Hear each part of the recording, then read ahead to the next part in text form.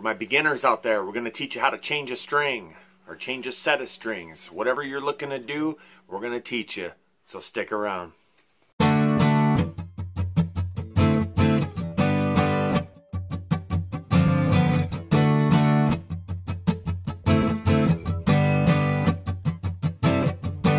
bars are all packed and everybody wants to go. All right, so as we get started here, I'm just going to go over a few things. Um, that's a new song in the uh, intro there. It's called White Trash Champagne. That's an original of mine. If you liked what you heard there and you wanted to hear the rest of it, I got a lyric video up here. It's on Spotify, all digital outlets. Blah, blah, blah. All right, next. you don't necessarily need tools for this job. It makes it easier if you got them. Um, I can show you a couple things here. The reason I put these elixirs up over here is because this is what I currently use and have been using for quite a while. These are Elixir Nanowebs for the acoustic. They're 8020s, 8020 bronze. Nanowebs. Um, I use Nanowebs primarily because a coated string, primarily because my hands are extremely acidic. So if I put regular bronze strings on, it'll it'll rust them. It'll kill the tone. If I play one show on regular strings, it'll totally kill the tone. So that doesn't apply to everybody though. I mean, if you're not a heavy-handed player and your hands aren't acidic, you don't have to necessarily buy elixirs, but honestly, I buy them because one, I love the feel of them and I think they sound fantastic, at least to my ears. I've heard people say that they don't like the sound of them. So it's really just personal preference, to be honest with you. So there's that part of it. We're gonna, that's what we're gonna use. Elixir Nanowebs, and these ones are mediums. These are pretty heavy. I do play with a bit of a heavier string. These ones are 13 through 56, if you can see that on there. I use a heavier string because I am pretty heavy on my picking hand and, and whatnot. And I do beat on it quite a bit when I'm out playing live. So need to have some durability and some strength there and um, need to keep the tone. So that's why I run a heavier string. For a beginner, you might want to use something real light so it doesn't kill your hands and stuff because it will hurt your hands. And I do know that for a fact. And that's anybody that I've tried to teach, that's usually their number one thing that they start talking about is their hands hurt. And they will, for sure. And it's not being a wimp or nothing. It's acoustic guitars are pretty brutal on your hands when you don't have the calluses built up, say like I do. My fingers are pretty much flat, but that's this is what I do. I play music. So getting into tools that you may need. You don't have to have any of these tools. I'll show you in the video how to do it with no tools at all.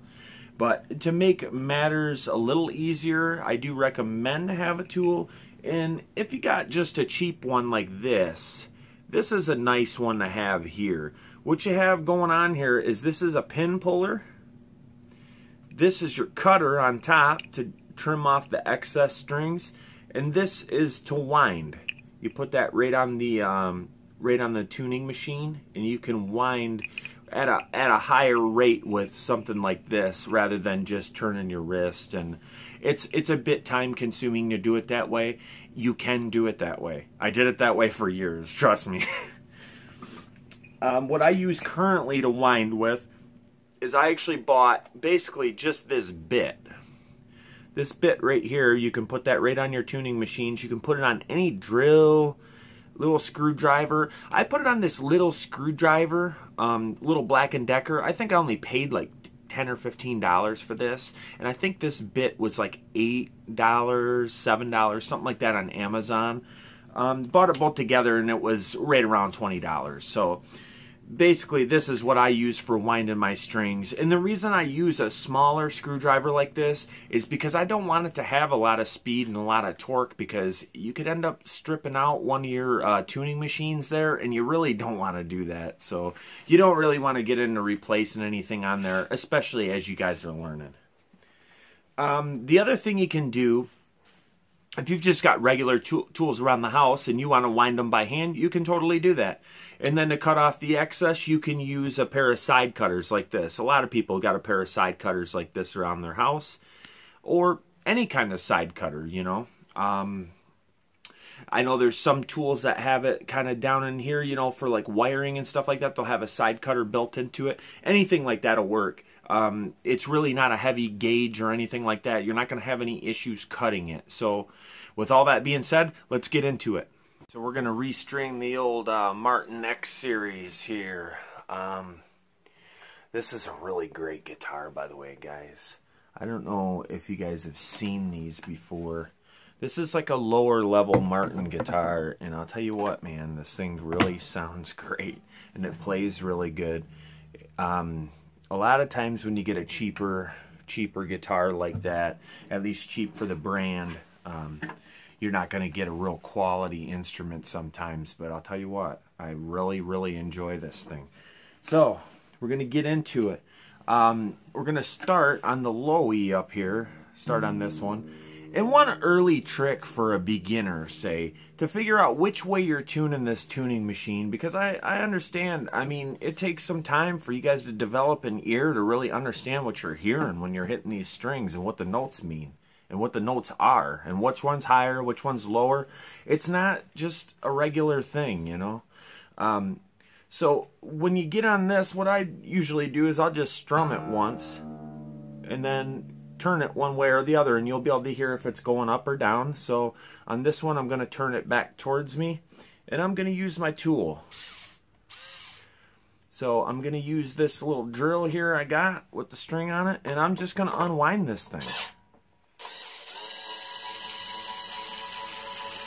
This just makes so much quicker work than doing it by hand. And I recommend that you do this with, um, that you do it one string at a time, all right? Because when you do that, it maintains your action, it maintains the flex in your fretboard here, and it makes it so there's not so much flex happening and you can get it in tune a lot easier. So I got that unwound down there. I just backed it out far enough to where I could unwind it by hand and pull it off, all right? So now we come down here to this end and you see these things and you're probably thinking, what are these things and what do they do? Well, they're really not that complicated at all, guys. They're actually just pushed in there. Sometimes they can be kind of locked in there. And if you got one of these tools, that little guy right there is for getting up underneath that and picking it out, okay? And then you just pull that out, set it aside for right now. Do not lose it. You cannot string it without it. So that's how we got the string off. We got our new set of strings open here. These will typically come in order. Um, they typically will be in order for what size strings to what end. You know, it might start at one end or the other. This is the uh, bottom string, that 56, that is going to be the E string, that low E string, and that is your high E string on the back. So if you just keep them in order, they will go in order, and you can just pick them out from from that uh, from the package that way. If you need more help, there is a diagram on the back to show you what size strings go on what or what size string rather is what you know the high E low E your B string etc so I'm gonna take our 56 that's what we got today. We're going on the low E which is considered the bottom end of the guitar. It's actually the top. I mean when you're playing it it's the string on the top the biggest one. So what I'm gonna do is you pull it out and it's kind of wound up like this. Usually you just got to kind of flip it inside a time or two and then she'll start to come unwound for you you got to be careful not to pull it the other way and tie a knot in it or something that'd be that'd be a big problem there so what you're gonna do is to start to get your one end in you're just gonna put this little knob here it stops moving. This little knob here on the end. You want to put that down in the hole just a little ways. You ain't to go way down in there. Just put it in there a little ways.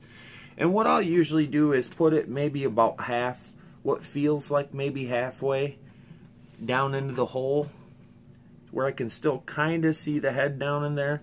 And then you're going to put this pin,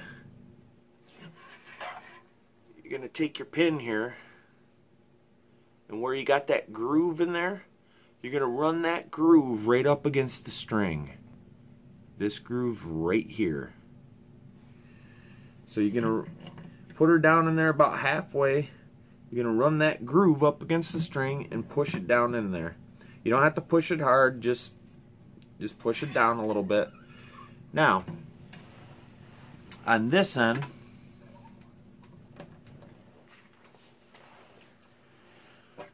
on this end, you're going to take your string and you're going to go through the hole in the center of your tuning machine.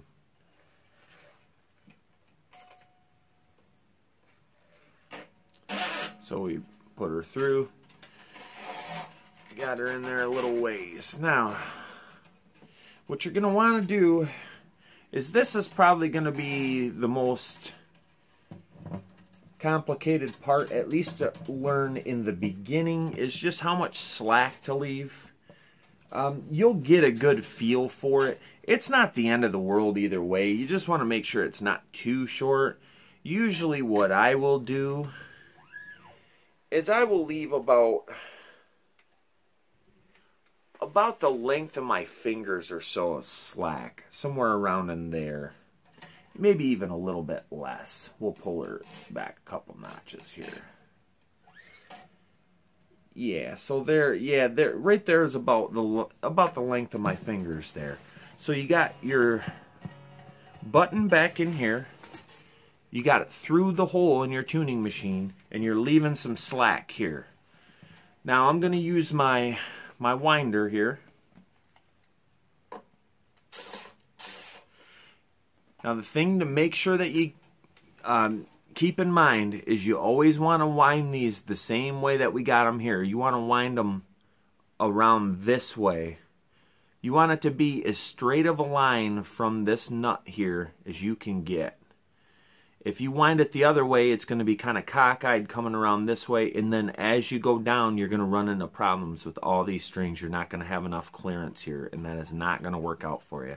So you always want to wind these with, with the string. When it's coming through here, you want that to be on the inside no matter what. So inside here and inside here. Inside, inside, inside, inside. So once you know which way you're going, which way you want it to wind, I'm going to put my winder on there. And what I'll do a lot of times is I'll hold the string down kind of in the nut here with my finger just to keep some, uh, just to keep a little bit of tension on it as you're winding it. Because as you're winding it, you're going to want to kind of guide it through and try to get that thing as clean as you can get it. You don't want it to be overlapping all over and you want to kind of keep it in rows. And I'll show you what I mean once this is on here. I'm using my finger to guide it, okay? Sometimes you got to guide it down a little further to get it to, to overlap the way that you want. And as you start to get some tension on this thing, you get a little bit of tension we got a little bit of tension. There we go. So we're starting to get a note. I'll come back to this end and hold down the knob. And then you're just going to start letting her come up. You're going to hear it slide and lose tune quite a bit here. And there's a couple reasons why you're going to hear that.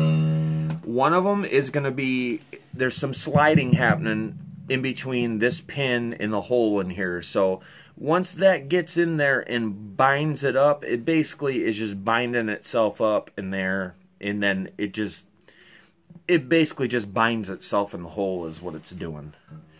So, as you're tuning this up, one thing you're going to want to do when you're changing strings, you're going to want to stretch these out because believe it or not, I know if you're new to guitar playing, these things stretch a long way for quite a while actually. So, what I'll do, there's so many different methods to doing this. Um, I kind of will use the most of my fingers on one side of the string and then put my thumb on the other side and just kind of give it a good stretch like that stretching it and you can pull it out from the fretboard too. Some people will just pull it out like that. Some people will stretch it different ways. I stretch it like this and give it a little tug too. And when you do that you'll notice immediately that you lost quite a bit. And that's why it's that's why it's nice to do it one string at a time because then you're already fighting the the string stretching but you won't be fighting the fretboard because this fretboard is under a lot of tension when when it's uh, strung up. So a lot of times when you take the strings off of this thing it's going to be cocked back a little ways and then as you're stringing it and bringing it up to tune, it's going to start throwing other strings out of tune and then it's stretching and it's just best to do it one by one. You can do the whole thing all at once. If you need to clean the whole thing down, I will do that at least, you know, quite a few times a year. I will do that. I'll take everything off of it so I can really give it a nice clean, clean the fretboard down real good, all that kind of stuff. But basically, that's how you get the string on there and if you're going to get if and when you get into tuning i do have another video on here for tuning. So i'll be able to teach you on there how to tune which i'll put a link to that in the description for you guys. Um, but basically that was one string. I'll do one more. I'll go through one more string. I'll show you that. And then from there i think you guys will have it and go on to the A string, which will be the next one down, which will be this guy right here.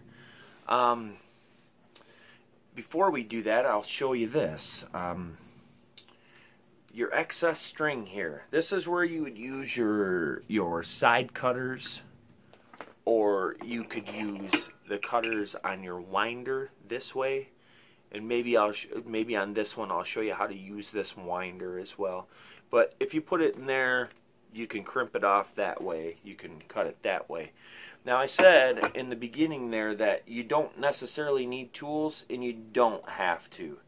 Um, what you can do, and I'll show you that right now, is you're going to want to take this as close as you can and you're going to put a real hard crease in it. You're going to need some strong hands for this. You want to put the hardest crease you can in the string like so. Okay? I put that crease in there, bend it over. Now what you can do from there is you just bend it back real hard. Use your nail to hold right at that bend and bend it back. Another real hard crease back the other way. Try to get it in the same location. Another real hard crease. There's one. And then once you got those two creases in it like that, basically you can just hold this still and start wiggling this thing one way, back the other way, back the other way, and boom, it breaks off. So that's a little trick. That's how I did it for many years. Why I did it that way, I'll never know. because it never really, it definitely was not, um, it definitely was not favorable on the time factor. So so I just wanted to show you guys that little tip on that one. So here's the A string. We're going to unwind this guy. So again, we're going to see which way we're going. There we go. We're going to strum so you can hear it go down. So you know which way you got to turn now.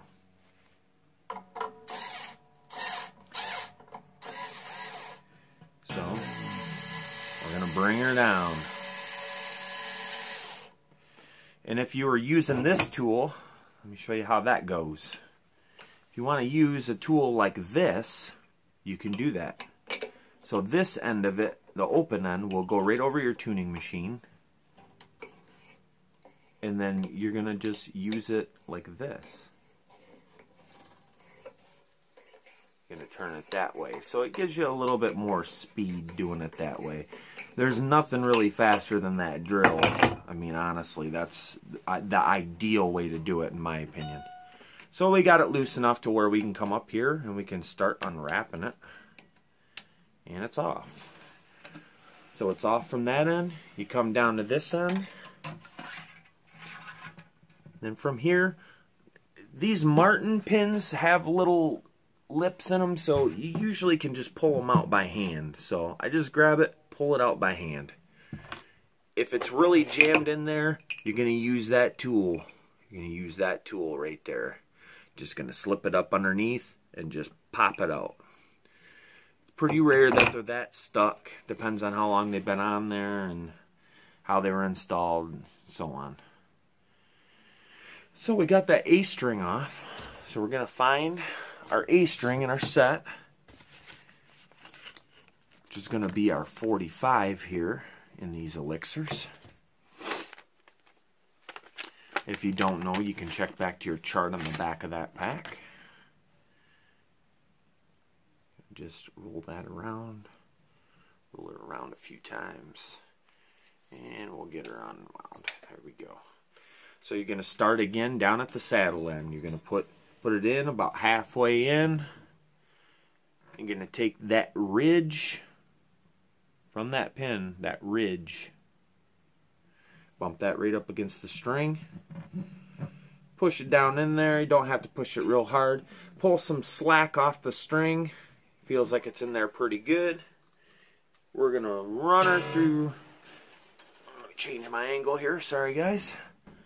We're going to run her through the center of the tuning machine. If it's a little out of whack like this one is, you're just going to turn it to a good spot where you can put it through that hole. We're going to go right through. We're going to go right through the center, just straight through. Now we're going to leave our slack again. We got about the, the length of our fingers. We're good with that right there. We're going to call that one good. And we're going to go ahead and we're going to start winding with this guy. Trusty old winder. And again, you're going to want to tune it to where it turns the string where when it comes straight off that it's going to be on the inside and not on the outside. If you do it on the outside, you're going to run into clearance issues and it's also probably tuning issues.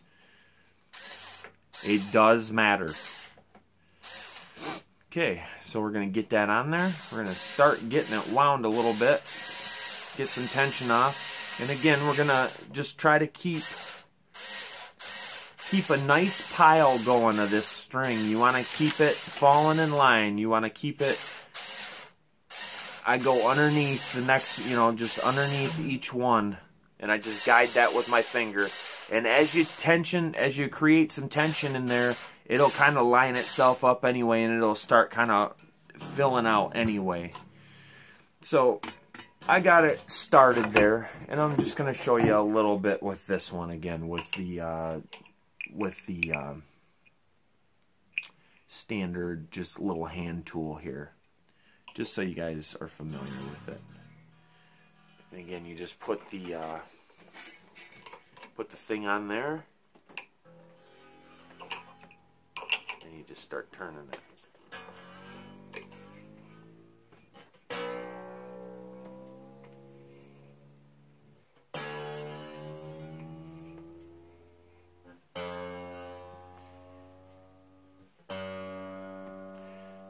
So now we're getting up into the territory where we want to be. Um, if you guys got any problems with knowing what to tune it to, also when you look at the back of that that string package, it's got the AE, you know, it's got the notes on there, so that's what you're going to tune it to. So I got this one on there, and I'm going to go ahead and I'm going to start stretching this one. Because what I normally will do is I will not really tune this thing right now. I'll just get these stretched and get them pretty close to where they go. Just that way my action falls in line, which means the, the flex of this fretboard. So the action falls in line and I know that I'm going to be in the right position. So, so I got it relatively close And what I'm going to do here on this one, I'm going to go ahead and I'm just going to cut that one this time with this. I'm going to go ahead and cut that one. And it cuts pretty easy. Or you can use that bend trick that I showed you. Alright, so if I went too fast or I didn't get something in the camera, by all means, you can make some comments, um, ask questions, and I will do my best to circle back around and help you guys out with that. But basically, you're just going to repeat those steps for all the strings across the guitar. And other than that, guys, we'll catch you down the road.